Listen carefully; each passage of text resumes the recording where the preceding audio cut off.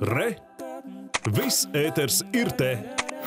Nedēļas nogalē, piekdienu un sestdienu Bauskas pilskalna parka estrādē norisināsies festivāls Bauska tas te.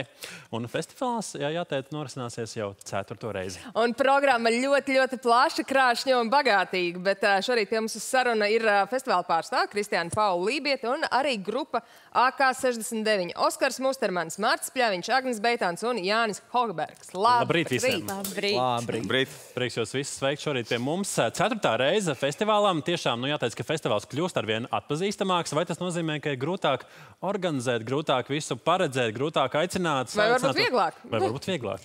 Gribētos teikt, ka paliek vieglāk. Mums ir lielāka atbildība pret savu lojālo apmeklētāju, kurš pie mums brauc ciemos jau no pirmās reizes. Bet uh, mēs domājam, uh, un katru reizi ar lielu, lielu mīlestību gaidām ciemos gan tos, kuri jau ir bijuši mūsu Bauskas pilskalnu parkā starp trijām upēm un festivāla debesīm, gan arī tie, kuri pirmo reizi brauks pie mums ciemos. Kāds tad ir šis skatītājs? Does. Šis skatītājs noteikti ir tāds uh, prasīgs. Viņš jau zina, ko viņš vēlas, viņš zina, ko viņš var sagaidīt. Jo mēs esam uh, pietiekami parūpējušies gan par bērniem, gan par uh, spožu mākslinieku listi, gan uh, piekdienai, gan sestdienai. Bet tāpat laikā šajā reizē būs arī tādi jaunievedumi, uh, jo festivāls notiks divas naktis. Uh, tā kā tiem, kam tīk bālīšu ritmi, tie varēs Tad divas naktis. Telšu tiem- pilsētiņa? Jā, Telšu pilsētiņa mums jau no pirmā gada bijusi. Un šogad uh, redzam, ka Telšu pilsētiņas uh, iedzīvotāji kļuvuši aktīvāki, jo daudz vairāk interesējās par palikšanu tieši teltīs. Nu, ko, viena no māksliniekiem grupā AK69 arī mūsu priekšā. Oskar, labrīt! Labrīt. Vēlreiz, es saprotu, jūsu saknes arī ir meklējums Bauskas apkārtnē. Jā? Mēs esam baušinieki. Nu, šis sastāvs jau mazliet ir tāds uh, atšķaidīts, Jā. bet uh, mēs, uh, mēs esam no Bauskas. Jā. Vai tas nu, uzliek tādu papildu atbildību, uzstājoties Bauskas pilskalna nestrādā? Nē. Nē, galīgi tā nav. Tā nav ja? Nē, nu, atbildība jau katra uzstāšanās ir. Bet, uh, mums jau nu, tas tieši prasīgais apmeklētājs. prasīgais senais apmeklētājs. Mēs vairāk, mēs vairāk par to, ka mums tieši ļoti liels prieks, ne tik daudz kā, kā varbūt tā atbildība tādā stresa ziņā, bet tieši mm, gribam to pasākumu izbaudīt un, un tieši lielāks uh, jā, prieks būs spēlēt. Kā jūs raksturot savu žanru un stilu tiem, kuri vēl jūs nepazīst? Kā vienojāmies, es to džēzroks. Ja? Es džē- Labi, nē, nē, es domāju, ka tas uh, mums varētu būt uh, roka mūzika, ka tas ir tieši tas, un mēs tur nekad neesam uh, aizrāvušies ar, ar tādām iedalīt tur kaut kādā īpašā grupā. Mēs Agrāk mēs spēlējam aizrāvāmies. Jā, mēs kāpostu izdomājām, roks. Kādreiz bija kāpostroks. Frīkroks, jā, mēs izdomājām jaunas uh, stils, bet es teiktu pop, poproks, roks, poproks. Nu, ko mēs esam gatavi Kaut ko no tā dzirdēt arī šodien. Jā. Yeah. Lūdzu.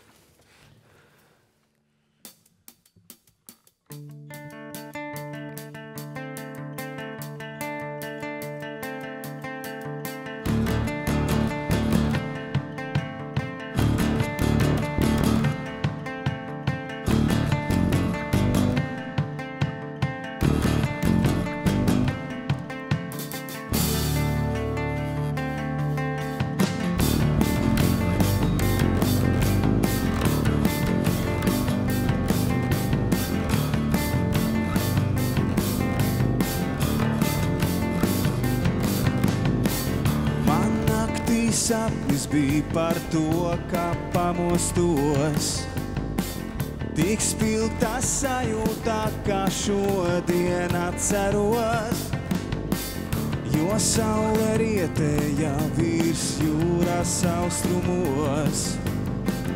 Piks ir reāla gaisma, tik īsta, kas tās to stāvējos. Beigas nav Seansīs pārdots. Beigas nav par to. Sapnis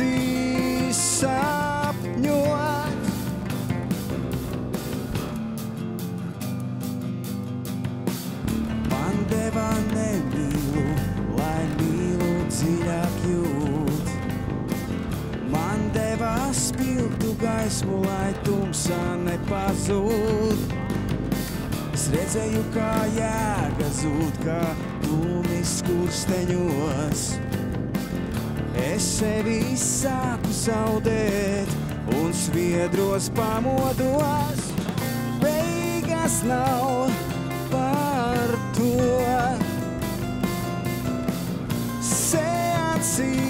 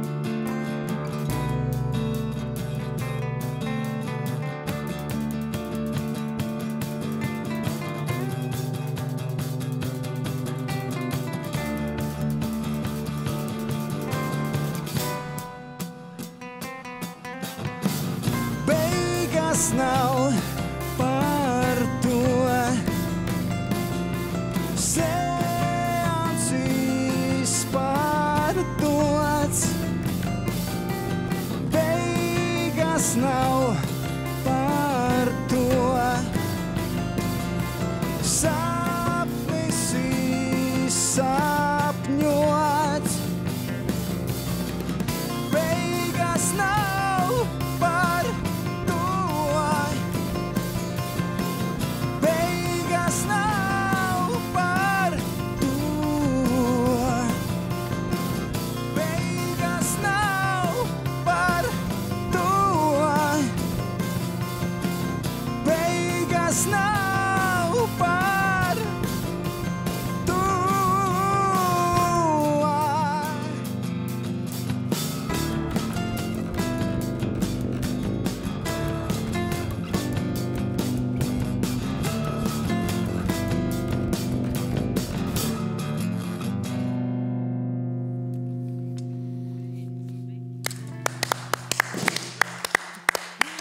26. augusts. Tikai, ne tikai AK69, ļoti tiešām bagātīga programma, citi zēni, very cool people. Um, instrumenti, instrumenti, Daddy was a milkman. Nu, spēja tik izvēlēties. Kas tik tur nebūs? 5. 6. augusts Bauskas pilskalnu parkē.